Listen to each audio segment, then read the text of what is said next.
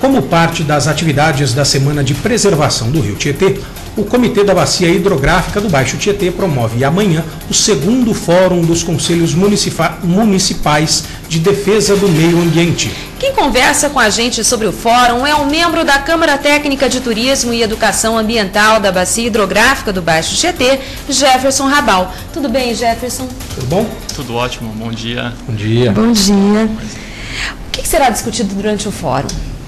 Bom, a, a, proposta do fórum é a gente discutir a formação e fortalecimento dos conselhos municipais do Baixo Tietê.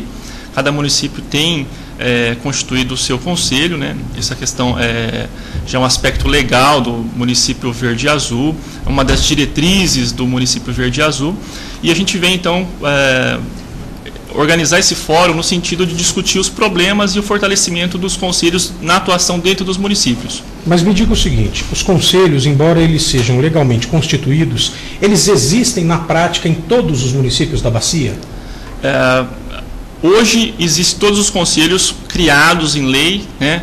isso em, em decorrência da, dessa exigência do. Uh, programa Município Verde e Azul do governo paulista, do governo né? paulista que uhum. tem essa uma das diretrizes que para o município ser certificado ele tem que ter um conselho, conselho. atuante com algumas com alguns requisitos básicos para para pontuar e ter a certificação de município Verde e Azul. Jefferson, quais são as atribuições desses conselhos? Os conselhos eles, eles têm é, por é, embasamento legal é, a, a, função de avaliar os empreendimentos de baixo impacto, resolver problemas de arborização dentro do município, uh, discutir o uso e a ocupação do solo, tem a, a autonomia para uh, estudar, por exemplo, a, concessão de um alvará de funcionamento para um empreendimento ou não. Então, o que você está dizendo é que ele é deliberativo? Sim. O Conselho do Ambiente? Na, na, verdade, os conselhos eles foram criados na,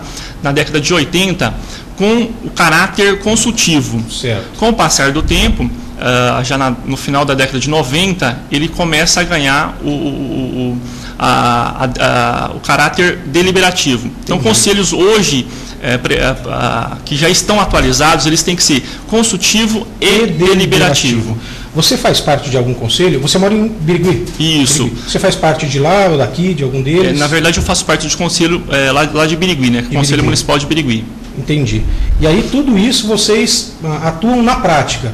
Por exemplo, é, poda de árvore, essas coisas, vocês também deliberam sobre isso ou fica a cargo só da é, prefeitura, é, por exemplo? É, é que é uma coisa bastante comum de a gente ver acontecendo, que a Aracatuba dá um problema danado isso hoje, né? Correto. Vocês é, atuam nisso também ou não? Lá, no, no caso do Conselho de Birigui, faz parte né, da lei, lei, de criação do Conselho a avaliação do, da poda das árvores dentro do município. Mas isso é particular de cada município. Né? A lei de constituição do, do Conselho ela vai dizer onde o Conselho deve ou não ah, atuar. Entendi. Então tem que, estar, tá, tem que estar tá contemplado dentro da legislação que constitui o Conselho. Certo. Ô Jefferson, e quantos participantes vocês esperam nesse fórum? A proposta é a gente. Uh, o primeiro fórum nós conseguimos atingir uh, ah, 81 participantes, né, de 27 municípios do Baixo Tietê. A proposta esse ano é expandir para 200 participantes. A gente está convidando é, um representante do município, um, um, representante da Câmara Municipal e um representante da é, sociedade civil. Então essa é a nossa proposta de cada município. E está aberto para a comunidade também que queira é, discutir esse, esse, esse e onde vai ser? O, o, fórum vai ser realizado no SIMB, né, no Sindicato da Indústria Calçadista de Birigui. É, Amanhã. Roberto Clark, no centro né, da cidade. Correto. Perfeito. É, Amanhã? Amanhã, das 8 às 18 horas. É, esse fórum vai ser certificado, né, vai ter certificado de participação e vai ser muito bacana a discussão.